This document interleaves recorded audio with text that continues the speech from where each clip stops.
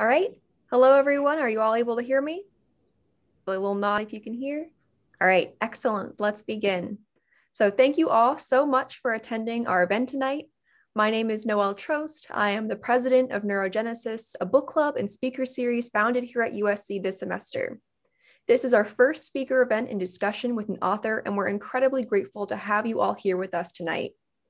For tonight, that we, we ask you keep your mics turned off until the very end, and at that point, we will allow people to unmute themselves to ask questions. You're also free to directly message us any uh, questions in the chat. To tell you a little bit more about who we are and what we represent, we are a book club dedicated to topics of neuroscience and mental health. We're mostly consisted of undergraduates studying neuroscience and psychology. However, our organization is open to everyone. Our goal is to get people to expand their perspectives about the brain and mind through reading and discussion. We chose The Center Cannot Hold by Professor Elyn Saks as our first book to read as a club because we felt that it would be important to read about mental health from those with the closest experiences with it. Professor Elyn Saks is Orrin B. Evans Distinguished Professor of Law, Psychology, Psychiatry, and Behavioral Sciences at the USC Gould School of Law. She is the founder and faculty director of the Saks Institute for Mental Health Law, Policy, and Ethics, which was founded using the funds she was awarded from the MacArthur Fellowship or the Genius Grant. She is also someone who has spent her life and career with schizophrenia, which is the central topic of her memoir, The Center Cannot Hold. With no further ado, I would like to introduce Professor Elyn Saks. Thank you so much for that kind introduction. Can you hear me? You can hear me. Great. Okay. So I'm honored and delighted to be speaking to your neurogenesis group. I think it's wonderful that you have joined together to think and talk about issues regarding basically the brain, and that you want to think about and understand brain diseases called mental illnesses as well, and make sure that we replace stigma against mental illness with understanding and care. So I'm going to first tell my story as someone suffering from a major mental illness, namely schizophrenia, and then I'll talk about a couple of policy issues raised by my story, uh, and then we can open it up for questions.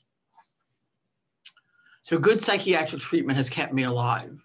Sensitive and wise psychiatric treatment uh, has allowed me to flourish most people today know or should know that people who struggle with mental health disorders are not just walking symptoms that can be cured by a pill. Mental health and mental illness involve whole people in relational, social, and political contexts. We need to understand people in the richness and in the fullness of their lives. The title of my talk today is Schizophrenia and I, Making Peace with Mental Illness. My title is an attempt to convey that schizophrenia is a relational illness by relational, I mean it involves personal identity, that it profoundly implicates one's social world, and that it has political meanings as well.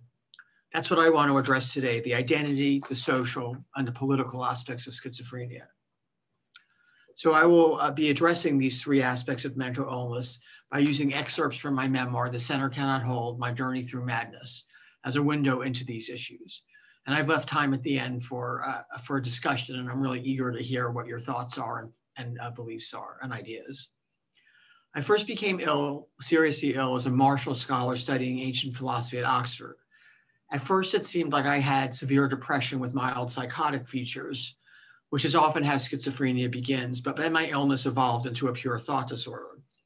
Despite much resistance, I eventually found my way to a psychiatric hospital with strong encouragement from my doctors at the university, whom I'd seen at the urging of a friend who was a neurologist. I had graduated as class valedictorian at Vanderbilt, had been accepted as a Marshall Scholar at Oxford, but I was in terrible shape. I spent much of my time wandering the streets of Oxford, mumbling to myself, gesticulating, and contemplating various ways to commit suicide to rid the world of my evil. I had absolutely no insight into the severity of my illness. I had no uh, awareness that there might be a gap between how I saw myself and how others saw me. I did enter the hospital voluntarily. After about a week or two there, everything changed. It wasn't something that a doctor or a fellow patient or a, stu- a friend had said. It was a simple look into a mirror. I saw myself reading from the text. It was the first time I'd actually seen myself in weeks, and it felt as if someone had punched me in the stomach. Good God, I thought, who is that? I was emaciated and hunched over like someone three or even four times my age. My face was gaunt. My eyes were simultaneously vacant and full of terror. My hair was wild and filthy, and my clothes wrinkled and stained. It was the visage of a crazy person on the long forgotten back ward of a hospital for lunatics. Ending the pa- passage. The gap between who I imagined myself to be and whom I saw in the mirror that day was profound and unavoidable. Far from making peace with my mental illness, until that moment, I did not truly understand that I had a mental illness to make peace with. That moment, that look into the mirror, was the beginning of a journey that would last a quarter of a century. In retrospect, it's no accident that the song I chose to listen to over and over, most often on the psych ward after that experience, was the Beatles. Once there was a way to get back home, or once there was a way to get back home. I needed to find my way home. Now, I think Freud was a brilliant thinker and he got many things right. What I don't think Freud got right is his view that intense talk therapy is not appropriate for people who are psychotic. According to Freud, analysis was not appropriate for psychotic patients because an individual who was actively psychotic could not form a transference to the analyst. Freud's view, in my experience, is abs- Freud's view is absolutely not consistent with my experience. In my experience, the need to be in a relationship, to be part of a social world, may be the most profound precisely when someone is psychotic. I began my work with an analyst at Oxford, and it was difficult and painful work. What I noticed from my first experience with intensive talk psychotherapy is two things. First, my analyst was hugely helpful in diffusing a sense of shame that went along with the thoughts I was having. My thoughts were violent and deeply disturbing about myself and other people. My analyst, who I'll call Mrs. Jones, was able to tolerate everything. It's difficult for me to adequately convey how helpful it was to me to have someone listen, not judge me, and not threaten to put me in the hospital or call the police, as might well have happened in the United States. Second, I noticed that as I felt more related to my analyst, Mrs. Jones, I began to make friends and found it easier to work again. I realized that someone could object by questioning the direction of the causal arrows here. Fair enough. My point is that as I became able to share my internal experience, my ability to interact with the world around me got better. I want to note and emphasize that the most helpful consultant I had in England said two things. First, I needed to be in an intensive psychotherapy. And second, I should remain in school as a way to exercise my mind. The hospital doctors were all saying, you know, you should withdraw and you should go back to the States. I will be forever grateful to that consultant. I think he was right. I finished my degree at Oxford and came back to the States to study law at Yale. The transition was rocky. For someone not familiar with a psychotic illness, it's difficult to understand. And at this point, I didn't truly believe I had a mental illness. My thought was that I was somehow different from other people and not in a good way.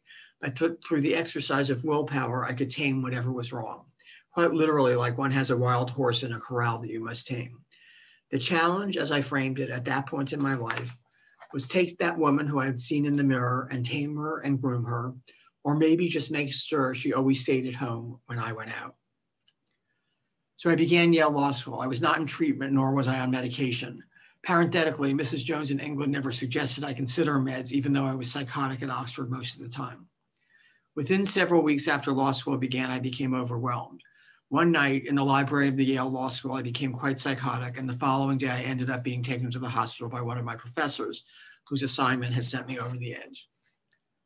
At the hospital, I found myself in a small uh, private room waiting for a doctor. The attendant was kind, and I readily gave him a telephone wire belt, which I had proudly made the evening before when I'd been floridly psychotic on the roof of the Yale Law School and, not satisfied with my jeans and t shirt, decided to accessorize. I'd also picked up a nail that I kept in my pocket. Many people who are psychotic carry things that can be used as weapons, not because they want to hurt someone, but because they're afraid someone may want to hurt them. This visit to the emergency room resulted in my first hospitalization in America reading from the text. But you can't have my six inch nail, I said, patting my pocket. Then someone who I'll call just the doctor arrived. Give that to me, he ordered. No, I said. The doctor immediately called for security. Another attendant came in, this one not so nice. Once he pried the nail from my fingers, I knew I was done for. Within seconds, the doctor and his whole team of goons swooped down, grabbed me, lifted me out of the chair, and slammed me down in a nearby bed with such force I saw stars. Then they bound both my legs and my arms to the metal bed with thick leather straps. A sound came out of my mouth I'd never heard before half groan, half scream, barely human, and pure terror. Then the sound came again, forced from somewhere deep inside my belly and scraping my throat raw. No, I shouted, stop this. Don't do this to me. I glanced up to see a face watching the entire scene through the window and the steel door. Why was she watching me? Who was she? I was an exhibit, a specimen, a bug impaled on a pin and helpless to escape. Please, I begged, please. This is like someone from the Middle Ages. Please don't do this to me. Ending the passage. Shame is a pervasive experience of people with psychosis. Often we're ashamed of what we're thinking, and so we hide our thoughts from other people. This shame may play itself out in various ways. After my experience in the emergency room, five months of hospitalization ensued. Hospitalization involving long term restraints and seclusion, forcible medication, and no privacy. In the beginning, say the first month, I was even watched as I showered and went to the bathroom and was not allowed privacy while talking to other people, including my parents. I believe that the hands off approach, perhaps it could be described as benign neglect, that I experienced at the Oxford Hospital was preferable to the over interventionist approach, often driven by risk management concerns of the American hospitals. As I've come to say, I am very pro psychiatry, but very anti force. After two weeks on an emergency commitment, I was faced with the question of whether I would try to get out of the hospital. Parenthetically, the doctors put me on an emergency commitment because they said I was dangerous to myself and others, and because they said I was, quote, gravely disabled. And the reason they gave for the latter was that I couldn't do my Yale Law School homework, which made me wonder about much of the rest of New Haven. I can contest their motion to civilly commit me, and to me, the choice seemed clear. I would demand a hearing to fight the commitment. I brought this up to my father, who was an attorney as well. My father was equally clear. Do not contest this because if you lose, you have now been civilly committed and you're going to have to report your commitment every time you apply for a license to practice law.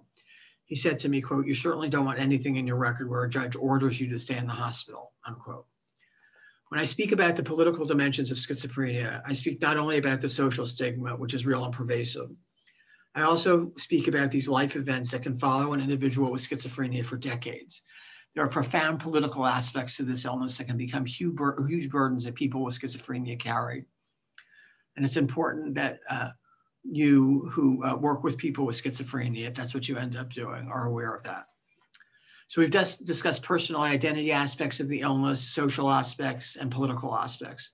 I want to push these ideas even farther by talking about the centrality of relationship to healing. Healing does not occur in isolation. It's painful to me when I speak with mental health professionals working in community mental health centers who measure their caseload in the hundreds. I have a good friend, she's now retired, who worked at one of the mental health clinics in Los Angeles, and she had 350 patients. How on earth do you do that? Uh, it's crazy. Healing begins in relationship and in all kinds of ways. A patient's relationship with a mental health professional is an integral part of the healing. I worry tremendously that this point has been lost on our policymakers. Of course, other relationships are healing as well. After I was hospitalized upon returning to the States, I took the rest of that year off, what would have been my first year in law school, and then I returned the following fall to begin again. It was when I began Yale school, Law School a second time that I made my closest friend and a man named Steve. Steve is an attorney and a clinical psychologist with an appointment in clinical ethics at Harvard's Department of Psychiatry. Reading from the text. One of the worst aspects of schizophrenia is the profound isolation the constant awareness that you're different, some sort of alien, not really human. Other people have flesh and bones and insides made of organs and healthy living tissue. You are only a machine with insides made of metal. Medication and talk therapy allay this terrible feeling, but friendship can be as powerful as either. Steve Behnke and I were in contracts class together, and a couple of times he asked for an assignment. Other than that, we'd never really spoken. But we were at dinner that night, and the conversation in the law, school dining hall was casual and pleasant, drifting from one subject to another, classes and law journal and summer jobs. I noticed that Steve seemed engaged enough. He nodded, he smiled, but after a while it began to look like simple politeness. As our classmates got up to leave, I realized I was, wasn't ready to go just then. And there began one of those conversations that last for a lifetime, one in which there's immediate comfort and acceptance, the equivalent of someone's strong hand offered to you when you most need to grasp it. That first talk flew far and wide how we got to Yale, who our families were, then philosophy and religion, and what mattered to us and why. Steve had majored in classics at Princeton, where he was named salutatorian of his class and spoke in Latin at graduation. He went to Rome then, where he lived with a group of Benedictine monks and read Latin at the Vatican with a monk who served as the Pope's Latinist. He considered entering the monastery and studying medieval philosophy, but decided against it because medieval philosophy had ceased to hold his interest, as at least as a lifelong endeavor. Instead of becoming a monk, Steve came to Yale Law School, and so did I, and neither of us was quite sure why. Sometime later, it occurred to me that at the very moment I was being tied to a bed in a psychiatric ward, screaming bloody murder and afraid for my life, Steve was singing Gregorian chant in a monastery overlooking the ancient city of Rome. And here we were now, come to the same place from very different directions. It was past midnight when we said goodnight, and as I walked back to my room, I had the distinct feeling in the middle of my usual muddle that I'd ex- been unexpectedly blessed. I don't know why I decided to tell Steve the truth about myself. I don't know why I thought I could trust him, but I did. I believed from our very first conversation that this man would be a significant friend and a force for good in my life. Once the possibility came to my mind, I realized how much I wanted it to be so. But I didn't believe it could happen unless I revealed the truth about myself and let him see me in full. So much of what I did on a daily basis was about faking it. I knew I could never fake it with him. And so on a rainy afternoon at a pizzeria in New Haven, I shared my history. Aside from doctors and therapists, it was the first time I'd done this with anyone, anywhere. Ending the passage. Without Steve's uh, support, I could not have made it so successfully through law school if I indeed could have made it at all. Steve was a second set of eyes who could see me slipping when I couldn't. He was a rock who could support me when I was about to fall. And he was a true friend who helped me find meaning and pleasure in my life when meaning and pleasure felt like distant memories. After Steve graduated from law school and left New Haven, my then analyst, I'll call Dr. White, announced he was going to close his practice in three months, fully two years before I had planned to leave. The news of why shatter was leaving shattered me. Again, I return to what I see as Freud's mistaken view that psychotic patients don't form transferences with their analysts. In fact, my transferences were quite powerful, and the end of my first two analytic relationships could easily have landed me in the hospital. Fortunately, neither did.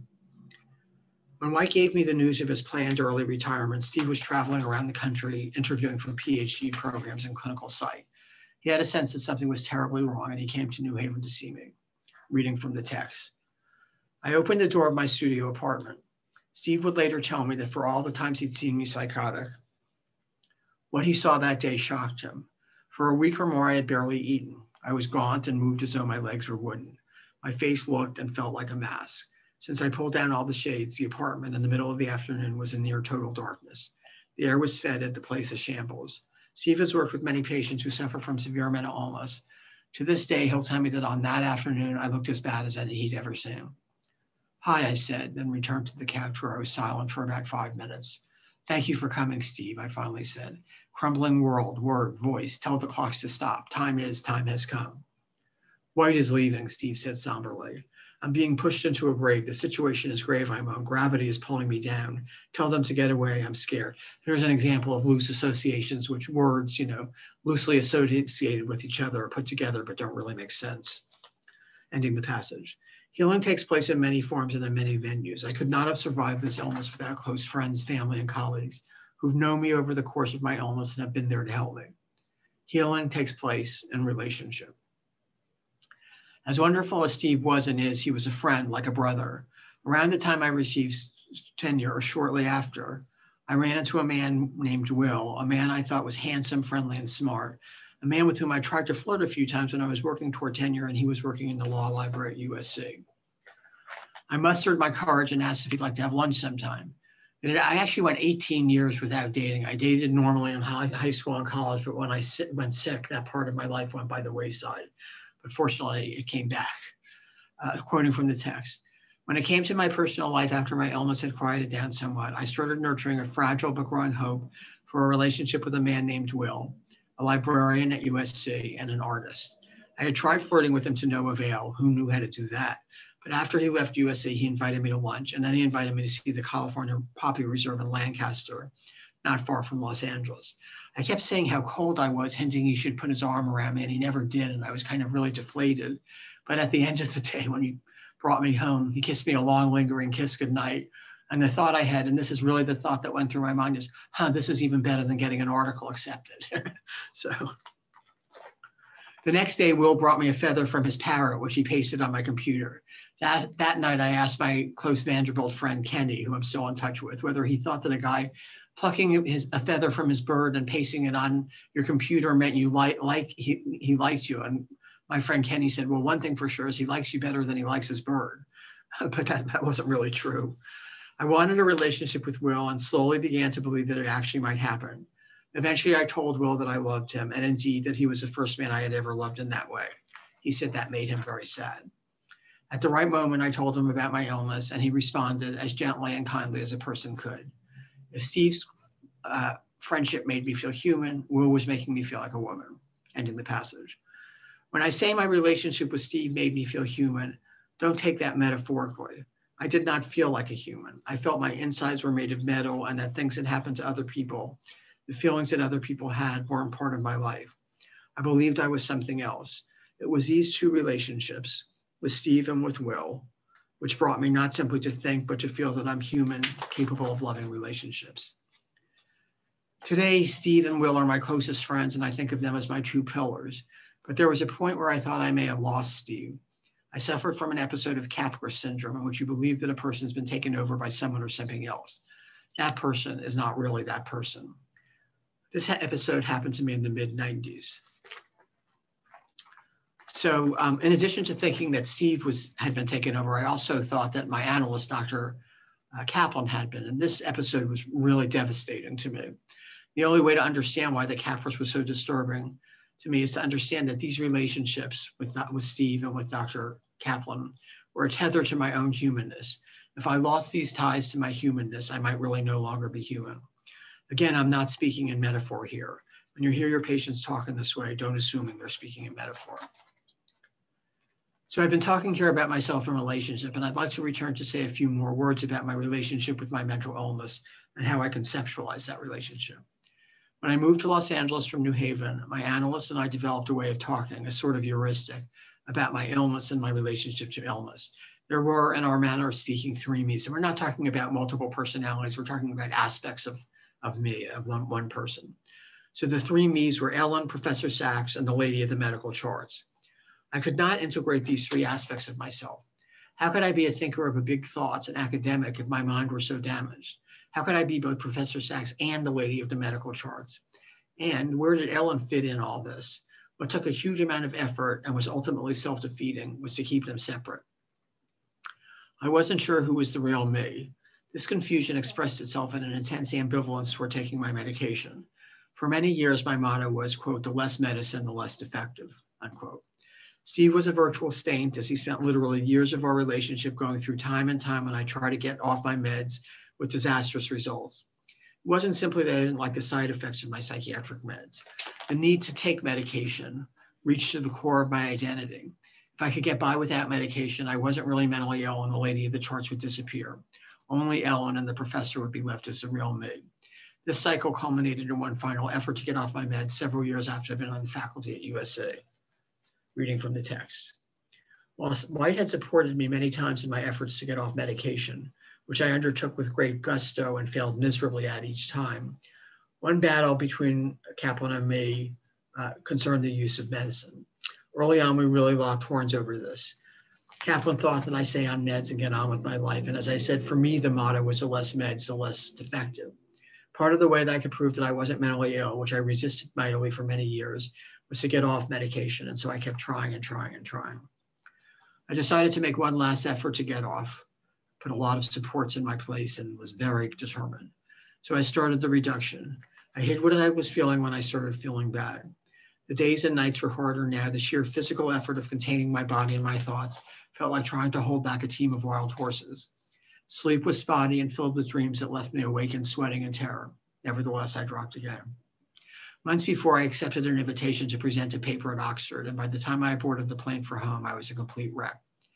When I walked into Kaplan's office my first day back, I headed straight for the corner, crouched down on the floor, and began to shake. All around me were thoughts of evil beings poised with daggers. They'd slice me up in thin slices or make me swallow hot coals. Kaplan would later describe me as, quote, writhing in agony.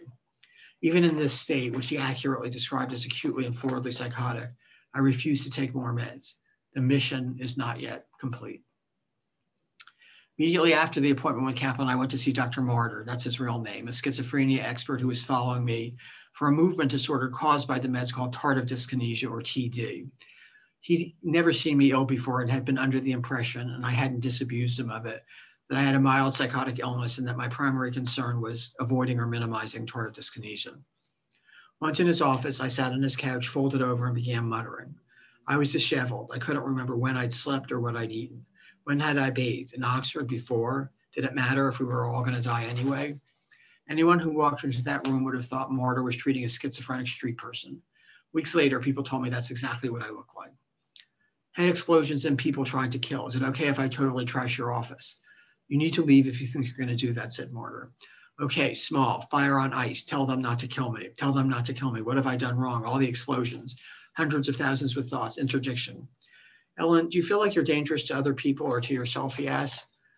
That's a trick question, I said. I don't think you ask a mental health law professor if she meets the statutory criteria for commitment in the language of the statute. I'm not sure how you do it, but not that way. No, it's not a trick question, he said. I'm serious. I think you need to be in the hospital. I could get you into UCLA right now and the whole thing could be very discreet. Ha ha ha. You're offering to put me in the hospital? Hospitals are bad. They're mad. They're sad. One must stay away. I'm God, or I used to be. My husband Will made a marginal note right there. She said, he said, did you quit or, or were you fired? And then who would have the authority to fire God? Forgive me for I know, know not what I do. I give life and I take it away. I really think a hospital would be a good idea, Marder said. No, thank you. Oh, so very much, I said. All right then, but if I were you, I'd stay away from work for a while. You don't want your colleagues to see this. Thanks, banks, bang, bye. See you soon. Oblivious to the look on his face, I left. The next morning, I dragged myself to my office, my hideout and refuge. I ran into my colleague Ed in the hall, and he quickly figured out what was happening. Elyn, what the hell's going on? I thought you were kidding at first, but you're not, are you? Does anyone else know about it? Is it okay for anyone else to know? I wouldn't mind telling Michael, I said, not the archangel one, our colleague. Suffice to say that Ed eventually brought me home, showing the good judgment to follow my doctor's advice rather than tackle me to the ground and take me to the ER, as others, including Ed's uh, internist uh, wife, were recommending. Eventually, I acceded to everyone's demand that I take more meds. I could no longer deny the truth, and I could not change it. The wall that kept me, Elyn, Professor Saks, separate from the insane woman I'd seen in that mirror long ago, lay smashed and in ruins. And then another event pushed me past the point of no return to accepting I indeed had a mental illness. I got on a new drug. Reading from the text. Because of the risk of my meds, Kaplan suggested one of the new classes of antipsychotics, a drug called olanzapine, it's a very, very good drug. In the end, I was on very high doses and was switched to something called clozapine, which is uh, the Cadillac in terms of efficacy, but also uh, very cumbersome. Anyway, but the change with originally with the with the Zyprexa was fast and dramatic. First, the side effects were much less than with the Navane. More important, the clinical result was, not to overstate it, like daylight dawning after a long night. I could see the world in a way I'd never seen it before. The illness was still there, but it wasn't pushing me around as much as it once did. Finally, I could focus on the task at hand, unencumbered by the threat of lurking demons. The most profound effect of the new drug was to convince me once and for all that I actually had a real illness. For 20 years, I'd struggled with that acceptance, managing to hold on to the belief that basically there was nothing unusual about my thoughts. Everyone's mind contained the chaos mine did, it's just that they were all much better at managing it than I was. My problem, I thought, had less to do with my mind than it had to do with my lack of social graces. I wasn't mentally ill, I was socially maladroit. Of course, that wasn't true. There's no way to under, overstate what a thunderclap this revelation was to me, and with it, my final and most profound resistance to the idea I had a mental illness began to give way. Ironically, the more I accepted I had mental illness, the less the illness defined me. It became accident and not essence, at which point the riptide that had kept sucking me in set me free. So I was finally able to integrate the three parts of myself. I was indeed Elyn, the professor, and the lady of the charts. It was making peace with the lady of the charts, my mental illness, that allowed Elyn and the professor to flourish and enjoy the many wonderful relationships that have blessed my life. I've been enormously gratified how my memoir, The Center Cannot Hold, has been received. With monies, as was mentioned, from the MacArthur Grant, I founded the Saks Institute for Mental Health Law Policy and Ethics at USC. The goal of the Saks Institute is to translate ideas into action to better the lives of people with mental illness. We are your sisters, your brothers, your sons, your daughters, your colleagues, and your friends. We want, in the words of Sigmund Freud, what everybody wants to love and to work. So, with a little help, or perhaps a lot of help uh, from, uh, from our friends and colleagues, uh, those of us who suffer with mental illness can find a life worth living. Thank you very much. So, um, should I talk about some policy implications, or should we go straight to questions and talk about the ones that you're interested in? We would love to hear about policy implications. Okay, sounds good. Um, so I'm going to speak. For, there, there are you know three or four things that I think are kind of important. Uh, one is um, how treatment is so important. So I um, I haven't been told that I'm unusual to be so high functioning as someone with schizophrenia, but in fact, I have done a study with Steve Marder and others at UCLA and USC on quote high functioning people with schizophrenia. We had two MDs, two JDs, a PhD candidate, a full-time student, a full-time teacher, a CEO of a not-for-profit. So there are people with mental health challenges out there. It's just that the stigma is so great that people don't come forward. Um, so, uh, so the first thing is, uh, God, I lost my track of thought. Um, uh, yeah, that that lots of you know lots of people with uh, with mental illness, um, and we ought to provide care to people with mental illness. And I mentioned to Steve Marder, I said, how many? What do you think is the percentage of people who have schizophrenia and are high functioning in my our sense, managerial, technical, prof- professional. He said, I don't know, Elyn. The real question is how many could be if we devoted proper resources. I think that's exactly the right answer, and we need to devote resources. I will get someone in an audience after a speech saying, you know, I can afford to see my patient uh, every three months for 15 minutes to discuss meds, and you see your doctor five days a week. How on earth is my patient supposed to do as well? And I, I say truthfully, I, I, I it's true. Uh, you know, I have had a lot of resources, and I'm very fortunate. Um, I, I have some survivor guilt in a way, but I'm not that I'm going to give away, uh, you know, the the benefits that I've had and the, the help that I've had. Um, so one is getting more treatment. The second thing is I think we need to learn how to use less force. So I don't think we want to figure out more ways to force people to take care, because after all, that's an unsteady or unstable solution. Once you stop administering the force, the person has no incentive not to go back. So we want to get people to um, buy into having an illness and needing treatment, or even if they don't buy into having an illness, we'll take treatment. You can say to someone, I get that you don't think you're ill, because 50% of people with schizophrenia don't, but you're complaining about sleeplessness and jitteriness and stuff like that, and these meds can help with that. Why not give it a try?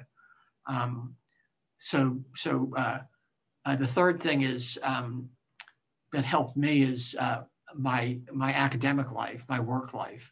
So when I'm writing a an argument or a cra- counter argument, the crazy stuff recedes to the sidelines. And I've noticed that I have most of my symptoms at night, which is a kind of unstructured time. So that's kind of important as well. Um, anyway, we want to try to figure out a way to get people to want care instead of using force. And I have a study in mind where you'd have one group would be people who get on meds and they're um, committed immediately and stay on them without any resistance. And at the other end are people who uh, resistant. They don't get on them or they keep trying to get off of them or whatever. And then the third group are people in the second group who tip to being in the first group. Um, so they change to not wanting meds to wanting meds. And I think it would be really cool to study what helps people tip so we can help people, you know, tip sooner and, and get well sooner. Obviously, there are going to be people who are competent and mentally ill who don't want the treatment, and we have to respect competent choices you know that's just that's just the way the world is and it is the way the world should be but we want to work together with people to get them care um, and then the third thing you know that that helped me was was work you know that's been very important to me actually my high functioning uh, uh, subjects in my in our study i would say 19 out of 20 got great gratification about their work made them feel feel good. It made them feel useful. It made them feel productive. One person said, "Hate it, wouldn't do it except for the fact that my family needs the money." Uh, lot, sometimes people say, "Oh, people with schizophrenia or mental illness they don't want to work." Well, that's not my experience. We we do want to work. So that's uh, that's the second point. The third, mechanical rate restraint is something I'm very interested in. Um, so I, I did my law school note, which is a student article on mechanical restraints. And I remember bringing my note to my professor, who was a psychoanalyst and a law professor, and said, you know, Dr. So-and-so, don't you think that um, restraints would make people feel, you know, in pain and undignified and degraded? Said, Elyn, you don't understand. These people are different from you and me. They're psychotic. They don't experience restraints the way we would. And I didn't have the courage in that moment to tell him that, no, we're not that different from you. We experience restraints. Restraints is extremely traumatic and toxic. And it's only by othering us that you allow yourself to do this to people that you wouldn't want done with yourself or with your own family members. Um, so I, you know, I would, uh, England, by the way, has largely not used restraints for 125 years. So I think we should study what they do. Um, but I would, if I were going to write a restraint law, I would, you know, do several things. I'd limit it. I'd change the uh, liability incentives. I'd procedurally burden it. Um, and I would actually get rid of uh, restraining someone's spread equal to a bed. I've never, I've been fortunate to have never been abused, but many patients have been abused and tying them spread eagle to a bed is going to be very triggering and, and traumatic. Um, so, uh, so that, that's my thoughts about restraint. Very quickly, I'll talk about what I'm working on right now. I'm working on studies of supported decision making is one study, and another is supported decision making in psychiatric advance directives. And the first one, we've recorded four medical centers USC, UCSD, downstate SUNY, uh, and uh, USC, UCLA, UCSD, downstate SUNY. Um, and we're asking people to pick people in their lives that they'd like to have as supporters and they're making their decisions. And then we're going to study who people pick and why and their satisfaction with the decision making process. Ultimately, it's the patient's decision, but maybe having support can help them make a better decision. So the first one is four medical centers. The second one is uh, four or five um, community mental health uh, departments in California. So we have big, we have urban and rural and big and small, and we're studying psychiatric advance directives where people lay out in advance what they want to happen to them in terms of their hospitalization and medication and who to notify and you know where to find out what they have written in their psychiatric advance or you know all those kinds of things so we're studying that that as well um, we're just getting started. So we're, you know, we're running the subjects right now. I'm very excited to see what the result is. You know, the hope is that, um, you know, it turn out to be feasible and desirable, and it would really change the way we deliver care. And the best thing is it would render more people or return more people to being the architects of their own lives. And, and that has to be a good thing. So that's that's my policy stuff, and I'm happy to discuss questions. Well, great. Thank you so much for telling us what you're working on. It really is so fascinating to hear about. Um, so, for now, we're going to um, ask some questions that our book club came up with together. And then after we've asked a few, we'll we'll go ahead and open it up to everybody else who has questions they'd like to ask. Sounds good. All right, great. So um, our first question that we wanted to ask you is how did you feel after writing um, the center and how did it help you contextualize your life with schizophrenia? Uh, so, you know, when I decided I wanted to do this book, um, I talked to a friend who was a geriatric psychiatrist and an older woman herself, and she says, Elyn, do not do this or do it under a pseudonym. Do you want to become known as a schizophrenic with a job? And I thought, you know, I, that's not what I want to become known as, but it would just send the wrong message that this is just too awful to say out loud to do it under a pseudonym. And in retrospect, I, you know, I did the book and I got mostly very positive responses to it. And my friend in the end said, uh, you know, I, you were right, I was wrong. It was a good thing to do. Um, so writing the book, uh, writing the book was kind of interesting. Um, so you said what? Writing the center. What was the second thing that you said? How did it help you sort of contextualize your life with schizophrenia? Yeah, yeah. It, it sort of um, it sort of told the story of my life with schizophrenia, and it helped me think about my past and how it led into my future and what helped and what didn't help um, and that kind of thing.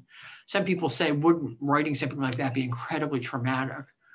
And what I say is, and this is much more severe the analogy is much more severe is Holocaust survivors.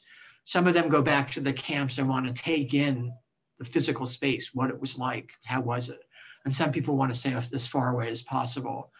For me, it's sort of interesting that writing writing the book wasn't traumatic or toxic. In fact, it was kind of interesting and kind of fun. On the other hand, there's a psychiatry professor at UCLA named Ken Wells, who's also a musician, and he did an opera based on the center cannot hold. Um, and it's largely focused on me being restrained. And that really was painful, which is only to say that he really did a good job of capturing that moment. And I would encourage all of you to look, look that up if you want. Uh, it's a really good, good, uh, good opera. So that's kind of cool. Um, but you know, having the mental illness, I guess some people are lucky they'll have an episode and then that goes, it's behind them and they never think about it or live with it again. I'm, I assume that happens sometimes, but with me, it's part of my life. Um, and, you know, accepting, understanding it and accepting it makes it much less front and center, much less important. So, uh, so writing the book was actually a good thing for me. That's incredible. We'll have to check out the opera. Um, yeah. Our, our next question for you is um, what was the importance of the psychotic episode at the law school, the Yale school, the Yale Law School library, and what is it about this experience that really separates it so that it, you know, it's the prologue of the book, it's something you talk about later in the book, it's in the the talk. What is it that really stuck out to you about this experience? Well, it was a very uh, impactful experience. Uh, it was, I guess, the first time I became floridly psychotic in front of anyone other than a therapist. So that made it unique and, and important. Um, actually, my one of the people on the roof was named Rebel, and when I decided to write my book, I learned that he was a a uh, entertainment lawyer in LA. So I consulted him, you know, to represent me. And I said, "You're in my book." He said, "Really?" I said, "Yeah." Remember the scene on the roof of the Yale Law School? He said, "How could I forget?" so it's kind of funny. Um, so it was kind of the first time. It was a pretty, you know, kind of colorful time to make it sort of, you know, in terms of making it interesting or whatever in a book. Um, I don't think it was that different from from other from other episodes. I mean, uh, I mean, there were times when it was less public, but uh, you know, in, in, a sense, the same kinds of feelings and thoughts and concerns and worries and delusions, you know, took place in all the different times. Um, so it was just, you know, one one episode among many and an important episode.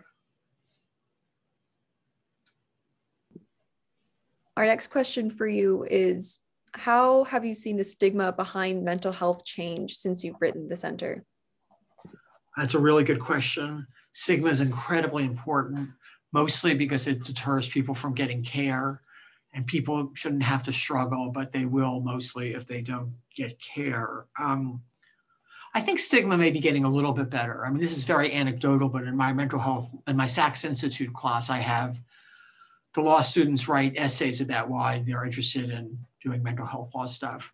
And I would say over the last 10 years, um, 80% self-disclose as having illness or having illness in their family or close friends. Although for the first nine years, when we go around the room to ask people why they're interested, only one person ever self-disclosed, which is kind of stunning because law students are supposed to be all about dignity and liberty and you know uh, those kinds of things. Uh, but it was just so awful that people didn't say it. This past year, or year before, because this, this year's an off year, um, out of uh, 10 people, eight people self-disclosed in the first meeting. And I thought that was really cool, including one person who said, I've never said this out loud to anyone outside my family until today. I'm bipolar one or I have bipolar one. So, you know, anecdotally, there are things that are changing. Um, I think people are more aware of uh, mental health issues. Law school is very stressful, exquisitely stressful, especially in the first year.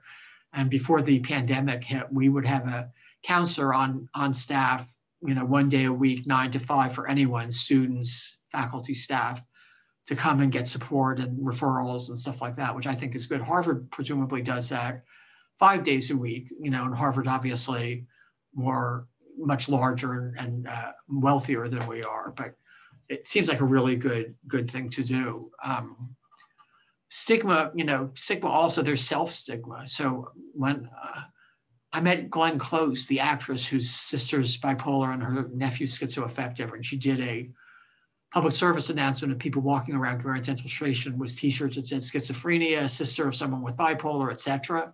She gave me a shirt that said schizophrenia. And my first thought was, I don't wear T-shirts to work during the week, but I do wear them on weekends. And I thought, do I really want to advertise that I have schizophrenia? And then I thought I've also had cancer, and people wear pin arm pins, armbands, pins, and T-shirts in solidarity, uh, without pride, with pride, and without shame. And we should be there with mental health as well, but we're just not there yet. But you know, the hope is that with more people coming forward, and you know, especially people in your own age core who who are telling you about these things and you know asking you to be part of their lives anyway and i think you know it's gonna it's gonna only be good our next question is why did you choose usc and los angeles um, the weather no not really um, i got into a bunch of schools usc was you know the highest ranked but the main thing about usc was that it was really strong in uh, health law and mental health law and bioethics and things like that. And also a kind of same kind of orientation as mine, very kind of interdisciplinary law and philosophy, law and psychology. Other places like University of Miami, I got in, which was sort of hard because my family's part-time in Miami. So that would have been nice. But they're very crit focused, you know, critical legal studies or whatever, which is fine. It's just not my thing. So it was both the best school and kind of the best fit in terms of uh, you know what I wanted out of, a, of an academic position. And it's been a great great place. It's just so incredible. Student asked the other day when I started, I said 89, and she said that's when she was born, but actually most of them were born in the late 90s. And you guys probably were born over 2000, right? Yeah, okay. Don't make me feel too old. Uh, our next question for you is um, How has your experience with psychoanalysis changed during the pandemic and social distancing, and have virtual options improved or diminished the standard? So I am very lucky. My psychoanalyst, psychiatrist, psychoanalyst, who I see four days a week, used to be an infectious disease doctor, and he doesn't think that it's contraindicated for me to go into his office and have therapy with him. So I've not changed the way I, you know, do my therapy. Um, I think a lot of people said at the time that it's not going to work. You can't do anything. We can't do stuff online. This is just too too personal, too important. It would be too distancing. But it turns out that you can do it, and it, it works fairly well. And that's going to open access to people who live remotely, geographic, remote geographically, or don't have any transportation, even if they do live in the city or whatever. So it could have a, an upside as well. Another upside, I think, in the pandemic is that more people are experiencing fear and anxiety and sadness, depression. And I think that's going to make them more empathetic to people who suffer with those things because of their illness. At least, you know, that would be a good thing if that happened. Great. And uh, our final question before we open it up to the audience, you, you touched a little bit on this uh, previously, but um, a lot of people have kind of found academia to be this source of stress. But based on your story, it really seems like it's this outlet outlet for happiness for you. And I was wondering if you could expand on that. No, it totally is. I, I love my work. I go in seven days a week, uh, no matter what. Um, I guess two days of the year I don't go in are Christmas Day and Thanksgiving Day, but every other day I'm there if I'm in town. Um, and I just find it enormously gratifying and fun to like think things through and look at different perspectives and see what studies show and what sorts of things that we could do to make the world better for people. I mean, I just really enjoy enjoy the work. Um, so it's not a challenge or a struggle. So some people who probably are, are most suited for academics are just traumatized by the junior years because they feel like they have to produce and they don't know what they want to write about and it's so hard. And that's tough. And I mean, if you want to do it, sure, that's great. And it's great if you can do it. But for me, it's always been nothing but good, just a lot of fun. There's a kind of funny story. So I had a colleague who had tenure trouble. She did get tenure in the end, and she had a place in Berkeley, and she invited me to be up there uh, one weekend. And I had just shown her um, a manuscript on hermeneutic psychoanalysis and she told me that I needed to just throw this away. It was a piece of shit. It, it would really stand in the way of you're getting tenure. By the way, it was published by Yale University Press, and everybody loved it. But so I went to sleep that night in her in her uh, condo, her townhouse or whatever. And I woke up in the middle of the night and at the foot of my bed, I saw a little bicycle with a devil riding in place. I thought, what an appropriate hallucination. so. Well, thank you for uh, answering some of our questions. We'll go ahead and open it up now to people who want to ask questions. We ask that uh, if you can raise your hand and we will call on you and I will go ahead and fix the settings so that people are able to unmute themselves. Okay. All right, great. Adam, do you want to ask the first question? Thank sure, you so much uh, for being here, Dr. Oh. Saks. Oh, uh, we're both. I'm so Adam. sorry. You're both named Adam. Um, uh, Adam uh, Lacroix, you you can go first. Sorry about that. Um, well, as the other Adam was saying, it's a pleasure to uh, meet you and hear from you, your wisdom and experiences, and uh, your struggles have been. Um, I hate saying this, but your struggles have been actually very inspiring. Um, for you, you mentioned acceptance a lot, acceptance of uh, the schizophrenia that ails you. Um, was that would, was that just uh, kind of a clarifying moment, or was it something that really took time overall for you just to come to that conclusion that this is in my life and I'm just going to have to deal with it? Yeah, it wasn't. It wasn't like when it first happened. I was like, "Oh, this is what's going to happen go, going forward." It took a, it gradually unfolded over a long period of time. I mean, as an example, I went 10 years trying to get off medication, um, and while I wish I'd been smarter sooner, I was glad that I wasn't forced and that I was allowed to come to the decision in my own way in my own time. Um, so, uh, what's the question again? Oh, it's just if it was because uh, I know you you you mentioned that it was you know a key component of kind of grounding yourself was the acceptance, and I was yeah. just curious to hear from you if it was you know this gradual process or just something that kind of was uh, you know epiphany but it sounds like it was definitely a gradual process. it was, it was pretty gradual. Thank probably that final moment was an epiphany but it had been a lot of uh, earlier stuff that led up to my being able to have that epiphany was it was really tough i don't know do you all have any ideas about why it is so hard for people to accept mental illness versus physical illness Now I'm being the teacher. I would say it's the the normalcy aspect. I think many, uh, if you see someone in a cast, you assume that's just part of being life. You know, you break a bone, you uh, suffer. Um, you know, uh, I believe that uh, when we have uh, ail- uh, ailments of the mind, I think then you're, you're you feel this dejection from society um, because your mind is everyone's arm is an arm. It has a tibial and a fibula, uh, but your mind and personality are very unique to yourself. And uh, if something's not right or normal there, I believe that we kind of interpersonalize it and see it as our problem. I guess. I have a very good friend. One of your questions that I read was, uh, and any other good book. She wrote a book called Manic. Her name is Terri Cheney um, and we talk about passing as normal that she and I do sometimes, you know, to kind of navigate the professional world or social world or whatever without being open. Um, but, you know, would that we could all just be as open as possible without repercussions. All right, now would the other Adam like to ask his question? Sorry about the confusion. Thank you so much for being here, Dr. Saks. I thought it was so interesting when you talked in your book about um, the need for psychoanalysis as an outlet um, and the real function that that served in your life and in the lives of others with mental illness.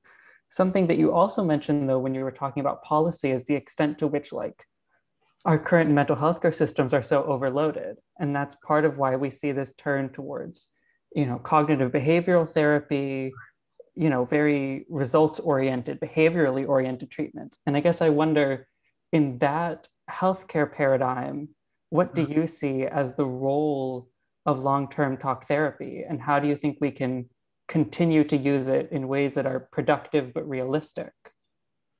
So it's a really good question. Um, there's a lot of work on CBT for psychosis, and there's DBT for people who have personality struggles, um, you know, and psychoanalysis or psychoanalytic psychotherapy uh, for mostly for people who have, you know, difficulties with life, so to speak, and not uh, florid, florid diagnoses. Um, for me, you know, the analysis was incredibly important. I, I tried CBT. I found it kind of infantilizing and silly.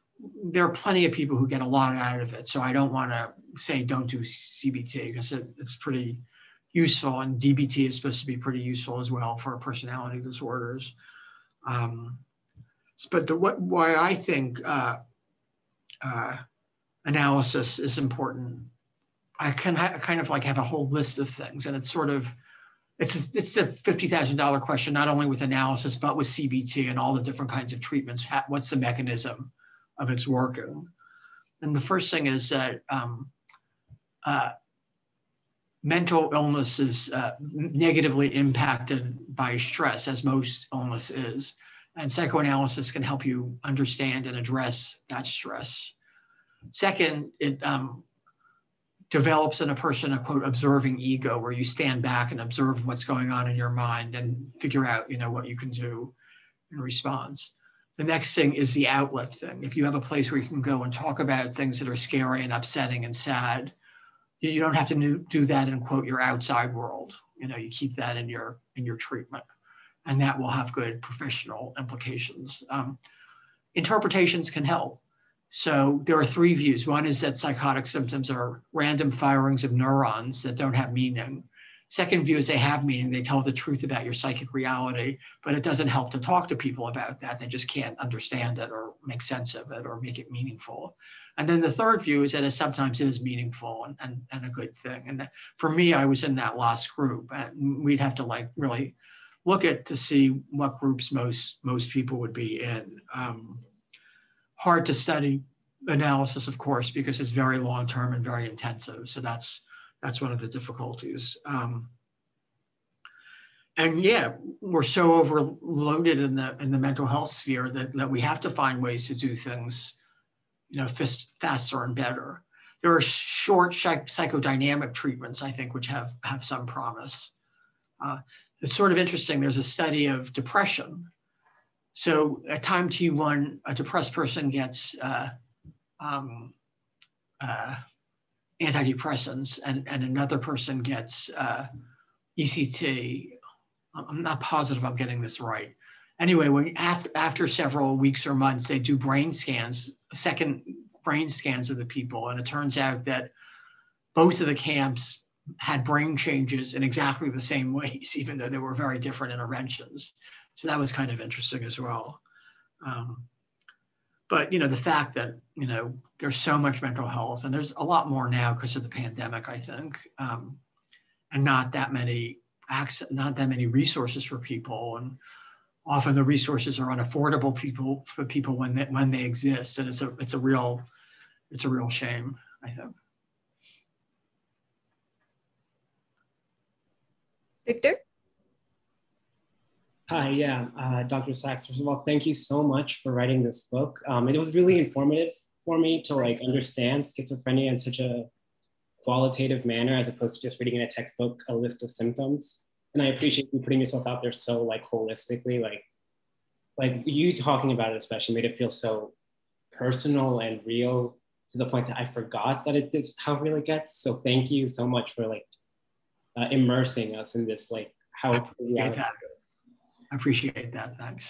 But um, a question, the question that I had is that um, the current zeitgeist on like neuroscience and psychology kind of diminishes psychoanalysis and especially Freud. And I was wondering how you, how you like interpret that current, like the culture of saying psychoanalysis and Freud are dated models that shouldn't be considered. I think most people think that even the most classical psychoanalysts that Freud got some things right and he didn't get some things right. And that's what I think. I mean, I think he got right transference. I think that happens with, although he didn't think it would happen with psychotic people, but I think it's very important. I kid around that I used to think my analyst was evil and the devil and I had to be careful or he'd kill me. And now I just think he doesn't like me. so I went from a real psychotic transference to a real neurotic transference. Um, yeah, and there, there, I think there are things in Freud's, you know, theory that people don't accept right now. But I think there are some things that people do accept, or at least psychodynamically oriented therapists do accept, like transference and like dreams can tell you stuff about a person's mental state. Um, and like, you know, um, uh, challenges around dealing with authority as one example. How can we understand the role that plays in your life and why it's there and that kind of thing? I mean, I think, I think you can learn lots of stuff uh, in analysis, and uh, but not. I don't think people think that, you know, how Freud conducted an analysis would be the way that we would do it. We would do it today.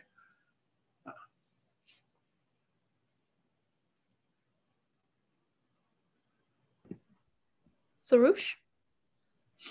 Um, hello. Um, thank you again for being here. Um, my question was that I think I'm not a policy major or anything, but I think like a big part of changing policies and like removing stigma is sharing your lived experience and your personal narratives. And I think like you've done a fantastic job of sharing your experiences with your mental health, but I think oftentimes that there's like a big disconnect from other people understanding it because uh, sometimes it could be like a different reality that people can't experience. So how do you overcome how do you overcome like telling your story and sharing your narrative? And how do we think how do you think us as a society can go to a better place of understanding mental health uh, in, in those terms? Um, mean, i think people telling their stories you know people from all different age groups and all different socioeconomic status and all different you know uh, studies you know just people talking about it being open about it i think is going to make it possible for other people to be open. And it's always better, I think, to be open than to have a huge secret. That kind of is a barrier to, to a friendship if you can't really talk about something like that. Um, so I, you know, I just, I just think, as you were saying, telling telling the story is what is what d- decreases stigma, so that people being willing to do that. It's, you know, it's a it's a fraught thing though. I mean, again, I have tenure, I don't have to worry, but if you're a junior faculty member or you're a PhD student, you know, people get anxious. People, you know, rush to judgment when, you know, everything really is fine and all those kinds of things. It can really be impactful. You know, sometimes people say to me, you know, I'm applying to law school or medical school. Should I self disclose? And I always talk about the pros and cons, you know, why it would be good and why it wouldn't be good. The real answer is you probably shouldn't unless you have to because there are gaps in your resume or you know that kind of thing. Um, but that's a that's a hard thing to say, and it's a personal decision. So I don't say this is what you should do, but that's what I would do. So when I applied to um, law school, uh, every law school I applied to had a question of, do you have a mental illness that you think could impair your ability to practice law? I think that's what the language was. That's the bar language as well. And I, you know, I thought to myself, well, you know, I do definitely do have a mental illness, but if I'm treated, I can be as, you know, stable and sane as anybody, and you know, maybe have more interesting ideas because of thinking outside the box a little bit. Um, so, uh, so, so, when I applied to, to law, they asked that, and I would always say no because I felt like the answer was no, that I could practice without hurting people or whatever. But one of the schools, I guess it was Stanford, said do you have you ever had a mental or emotional problem that caused you to diminish your uh, your workload? And I had to say yes to that because I definitely there were times in England when I was not functional and not working. I was in a degree program, so nobody kicked me out or anything, but I was unable to to function. And I think you know to the the prudent thing is you know to the extent you can not say some of that stuff, the better off you are. But again, that's a value choice and a personal decision. Dr. Walsh? Hi. So, so my question really is centered around kind of policy and follow the money. And, uh, you know, mental health funding is abysmal compared to other aspects of federal government funding. And, and then that trickles down to pharmaceutical company funding for mental health. And then even my son, who sees a psychiatrist, he won't take health insurance anymore uh, because the way it's divvied up for mental health. So what's the solution to get better funding for mental health? No, it's an incredibly important point. You know, if we don't put resources in, we're not going to be able to do all the things that we hope we can do if we do put resources in. Um, I mean, there. Are, I mean, what some things we should do is people like you and me who can get funding to do research that helps on these issues. You know, that that will make make a you know make it make it make a dent. Um, as an example, what I was saying are studies on supported decision making and psychiatric advance directives. Uh, the first one is being funded by a, by a foundation. The second one is being funded by the millionaire tax in California. Um, I don't know if you remember that. What happened was that anyone who made a million more had to devote 1% of their income to a novel um, psychiatric or psychological program or intervention or whatever. Um, and that's where we're getting our money to do the psychiatric advance directives. So that's that's one way drug companies do give money. I mean, drugs aren't the answer for everything, and even when they're partly an answer, they're not the whole answer. And you know, so I'm I'm not upset that we're studying drugs. I want to I want us to get the best drugs we can. Um, to the extent that it diverts all funds from anything else, that's a problem, and we need to face it as a society and as a, a group of um, uh, researchers and, and uh, people who do studies. But I mean, you are right. The money that we put in is just horrible. Do you have any ideas about how to make it better? Yeah, it's so political. I, you know, um, yeah, it, it's first of all, you know, mental health. You know, it's it's. Um, I was as a comment before. It's it's kind of viewed as a weakness, and nobody wants to be part of that weakness. And uh, um, you know, and, and then the other aspect is there's kind of a fear, you know, so we fear getting cancer, you know, we fear getting Alzheimer's disease. And so, so that's an easy sell to Congress and, and the Senate. Okay. Um, and I, I just don't understand why people don't don't have the same ability to, to grip what's going on with mental health, you know, and it's just, uh, but you know, and, and then, you know, in terms of drug development, there's so much money to be made from cancer yeah. research.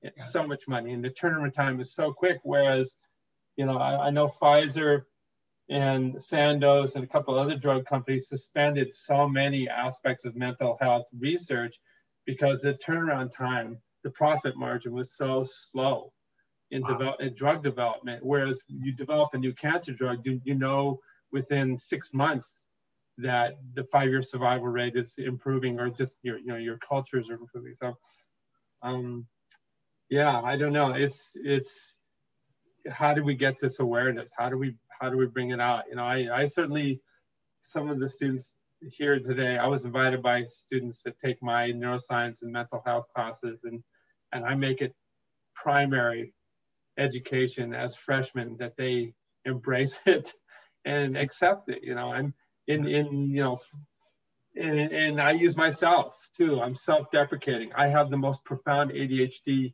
you would ever ever see in your life, and uh, and uh, and and like you, the the perfect venue was the classroom. Yeah.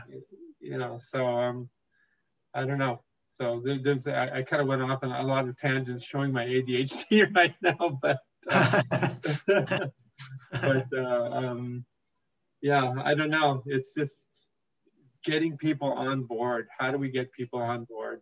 Yeah. yeah.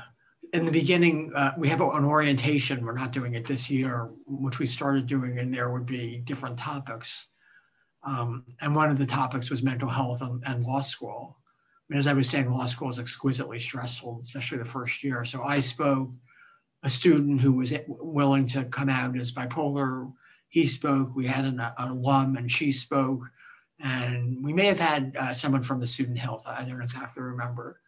But we talked about all of this. And it seems that you know it made some difference to the law students to put together a an organization or a club or whatever it's called law students for better health so we're making some inroads but it's slow and it's hard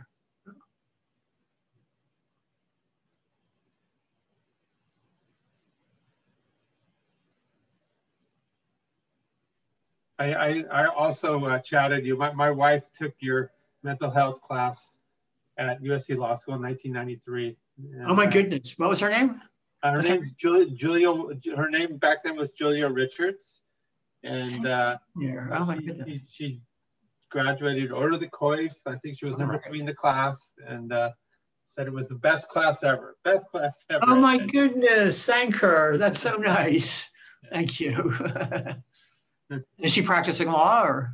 She, she did for many. She actually went to Pillsbury Madison Sutro, Lillich McCall, and and like you said, the the grind was unbelievable. It was just yeah. it wasn't compatible with yeah. having a healthy life and yeah. uh, children and things like that. And uh, she she was managing counsel for the Auto Club for a number of years, and then uh, and then um, and now she's part time faculty over in the School of Gerontology, and she teaches HR courses uh, for us. So. Cool, cool. Yeah. Say hi. yeah, absolutely. Some someday post pandemic, she'll have to come by and, and, knock on your door. I'd love to. I'd love yeah. to have lunch. Yeah. yeah.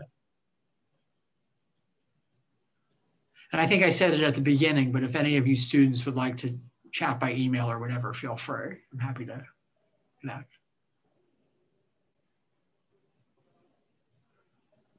Does anyone else have any questions? Feel free to raise your hand or unmute yourself.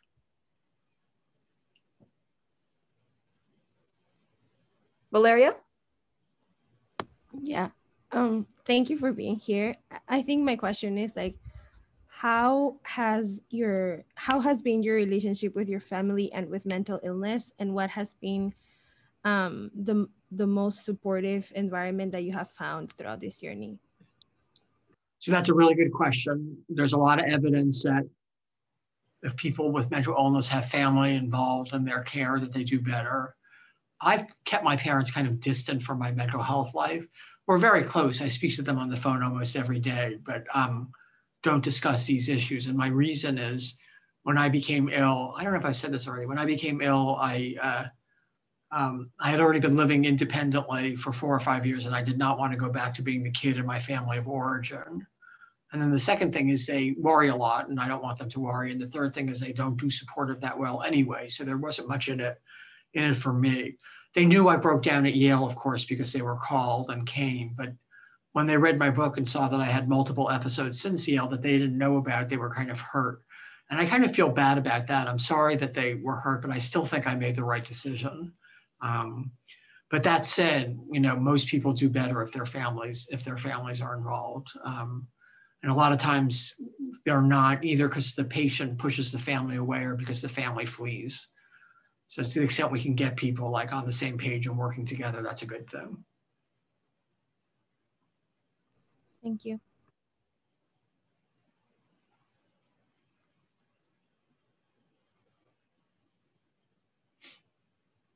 Yes, Iris.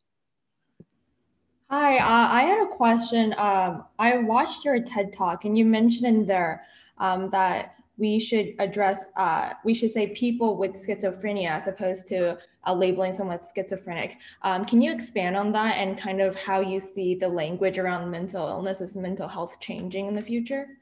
Yeah, that's a really good question. I have a had a friend named Fred Frese who was a psychologist, a PhD psychologist in Ohio who had mental illness and was a big advocate. He passed away, but he, he basically used to say, let's stop using the N word, meaning nuts so kind and well-meaning and smart people who would never utter a racial or an ethnic slur are happy to talk about crazies and lunatics and you know nutcakes and things like that. People just do it without thinking about it, um, and that's very that's very painful for those of us who who struggle. Um, and I think you know uh, it's as with other you know labelings of people, we need to you know educate people and you know get people to see that this is a problem and to want to change it one of the studies I'm putting together is about um, changing the name schizophrenia. And we're like having a whole list of other possibilities like Kraepelin's or Bleuler's, similar to Alzheimer's. So you name it after someone who's contributed a lot to the understanding of the illness or uh, altered perception disorder or disorganiz- disorganization, just, you know, all these different names. And we're going to see what, what people think. And we're going to interview peer, you know, um, patients, family members, mental health professionals, mental health lawyers, and see see what we come up with. Uh, might be that we are going to be talking about this in a in a different way, and that you know that could be a good thing. I mean, schizophrenia also is uh, unfortunate because most people think it means split mind, split personality, and it just it's a psychotic and not a dissociative disorder. It's a complete you know misunderstanding. Um, but words, you know, words matter. So we'll see what people think.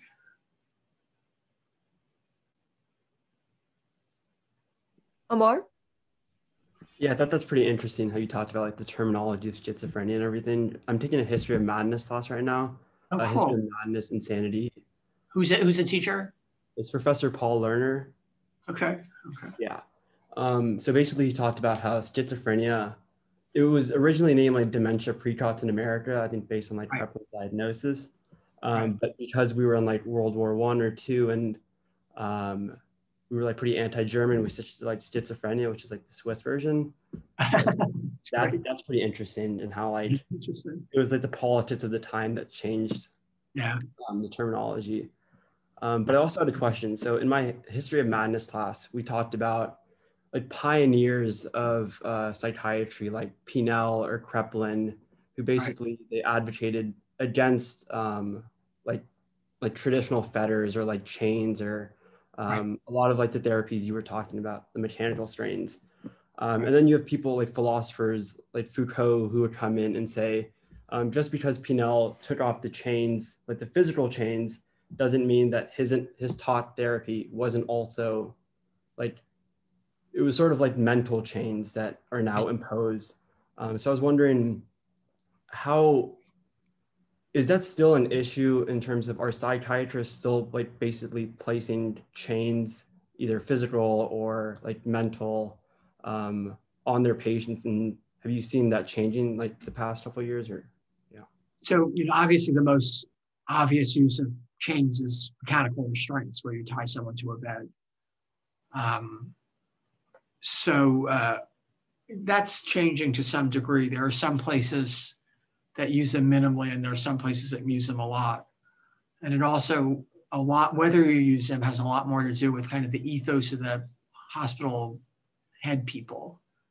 Um, so, you know, I, I, uh, I was restrained a lot in the beginning. So my first two days, I was restrained 20 hours a day, and then the next three weeks, three to five to 15 hours a day. Instead of my chart, use restraints liberally. Um, uh, what were we talking about? I'm sorry. Chains, chains, chains, chains. Um, and mental prisons and all that stuff. yeah. So uh, I studied uh, restraints.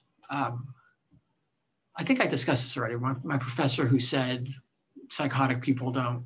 Yeah, yeah, yeah. No, I, I, I don't. Th- I think. Uh, I don't think people. I think. I, I think the idea of mental chains is a little bit misleading because the person has to like commit or invest or be willing to work for therapy to to do anything. And I don't think it's not like. Uh, you know, Clockwork Orange, where you just, you know, show them this this thing and it turns them into this other thing and so i think a lot of it is you know buy-in by the person and the person has their, own abilities and deficits and strengths and um,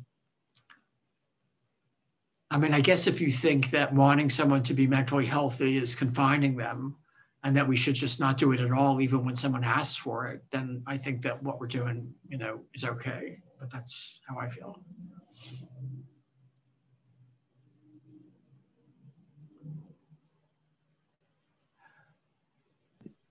Does anyone else have any questions?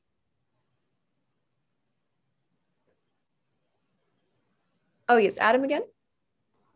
Oh yeah, just one last question. Um, so obviously, uh, and I believe it was mentioned before, uh, the coronavirus pandemic has unearthed uh, a lot of mental distress, uh, ranging from young people in college all the way to older professionals.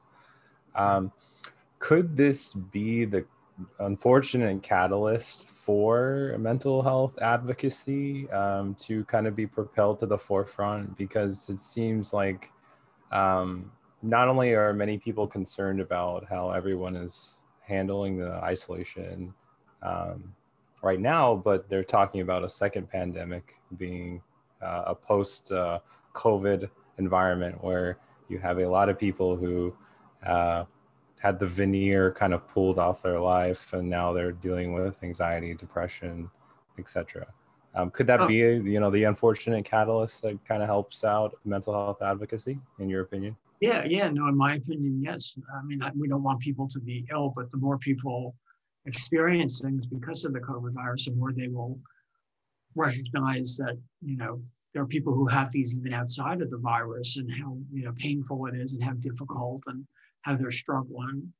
You know, you know how people are able to see or not see many different things. So I can imagine someone feeling that way, him or herself, uh, and then when it's all over, kind of forgetting about it, kind of thing, and you know, still looking down on people who have depression and fear and anxiety.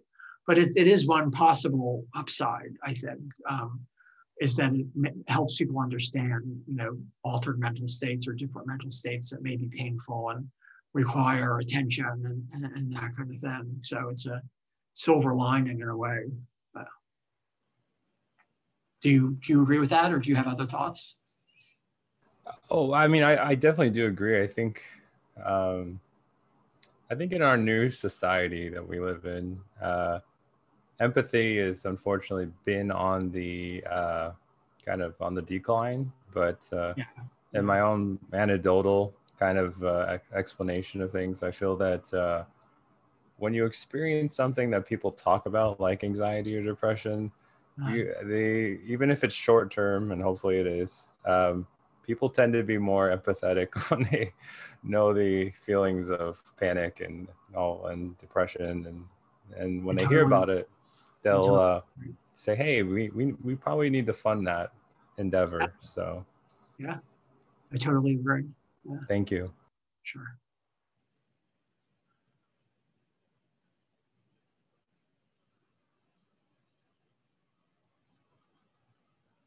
Adam? This is related to what the other Adam was saying, um, because it's very interesting thinking about these kinds of symptoms that maybe were once experienced by a small proportion of the population, but now are becoming very widespread because of COVID, these feelings of anxiety, isolation, depression. Um, and I follow this author, Melissa Broder, who talks a lot about her experiences with mental health. And she was speaking recently about how she feels that the pandemic has been like the Olympics she's been training for her entire life. Um, and she did um, this speaking or this episode of her podcast where she spoke about her panic disorder and all of these things that she's learned in terms of having um, these bouts of intense fear and using the same coping mechanisms every time she thought, oh, I've caught the virus. I'm going to get my family sick, my family's going to die, and there's that spiraling. And it just made me think, you know, there is, we have this division between mental illness and, you know, the, the people who experience mental illness and people who don't. But ultimately, like, there are things that come from mental health care and come from therapy that are useful to everyone. And so I guess I wonder, in terms of not thinking about current restrictions, but kind of in a utopian sense, what do you think are aspects of psychoanalytic treatment, aspects of, you know, cognitive behavioral therapies that everyday people can carry with them?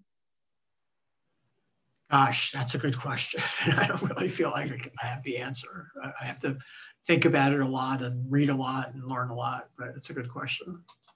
What do you think? I think definitely, um, well, just based off of what I read, there's a tendency to, most people don't conceive of themselves as fragile or vulnerable. Um, you spoke in your book about how you had your, I believe it was a hemorrhage, um, yeah. Yeah. and that experience of like the fragility of everyday life, that like being close to death. And I think that we're not socialized to think about that but people with mental illness like operate with an understanding of that fragility um, and i think that kind of a healthy relationship to it where that thing isn't feared um, because that's really what Melissa Broder spoke about was like this whole thing of, you know, I'm I feel panicked, I feel like I'm dying, but I have felt like this before, and it mm-hmm. passed, you know, and that ability to acknowledge and accept like extreme discomfort, I think is something that more people would benefit from being able to do. I think I definitely would. I totally agree with you. I think that's exactly right. Yeah.